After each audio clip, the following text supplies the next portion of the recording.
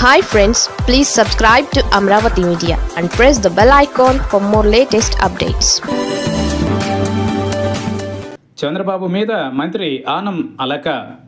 Senior నాయకుడు మాజీ మంత్రి ఆనం రామనారాయణ రెడ్డి అలిగారని ప్రచారం జరుగుతోంది. ఆయన మీడియాకు కూడా అందుబాటులోకి రావడం లేదని కూడా అంటున్నారు. ఆయనకు తెలిసిన బాగా చనువు ఉన్న జర్నలిస్టులను కూడా దరిచేరనివ్వడం లేదు. దీంతో ఆయన అలిగారనే విషయం టీడీపీలో చర్చనీయాంశమైంది. తాజాగా కొలువు తీరిన చంద్రబాబు మంత్రివర్గంలో ఆనం రామనారాయణ రెడ్డికి దేవాదాయ శాఖను కేటాయించారు. ఆయన కూడా ప్రమాణం చేసిన విషయం తెలిసిందే. అయితే శాఖ కేటాయింపు విషయంలో ఆనంను చర్చించకుండానే చంద్రబాబు నిర్ణయం తీసుకున్నారని అంటున్నారు. వాస్తవానికి నెల్లూరు నుంచి సీనియర్లు చాలామంది మంత్రి పదవిని దక్కించుకునేందుకు చూశారు. ముఖ్యంగా వేమిరెడ్డి ప్రశాంతి అయితే మంత్రిపీఠం దక్కితే చాలన్నట్లుగా ప్రయత్నాలు చేశారు.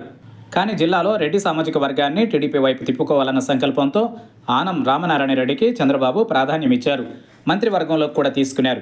కానీ ఆయన ఆర్థిక శాఖను ఆశించారు. గతంలోనూ రోసయ్య కిరణ్ కుమార్ రెడ్డిల మంత్రివర్గాలలో ఆర్థిక శాఖను ఆనం రామనారాయణ రెడ్డి చూశారు. దీంతో తన అనుభవాన్ని ఇక్కడ ఉపయోగించుకుని పార్టీకి మేలు చేయాలని తాను భావించారు. కానీ చంద్రబాబు దూరదృష్టితో ఆలోచించి ఆయనను రిస్క్ లేని దేవాదాయ శాఖకు ఎంపిక చేశారు. ఇది ఆయనకు నచ్చకపోవడం పనిలేని దేవాదాయ శాఖ తనకెందుకని భావిస్తున్నారు. వాస్తవానికి ఇప్పుడున్న పరిస్థితిలో ఆర్థిక మంత్రి ఎవరు ఉన్నా ఢిల్లీ చుట్టూ ప్రదక్షిణలు చేయాల్సి ఉంటుంది. కేంద్రం నుంచి నిధులు రాబట్టుకోవడంతో పాటు రాష్ట్ర ఆర్థిక పరిస్థితిని అదుపు చేయడం గాడిలో పెట్టడం సంక్షేమ పథకాలకు కొరత లేకుండా నిధులు ఇవ్వడం వంటి కీలక బాధ్యతలు చేపట్టాలి.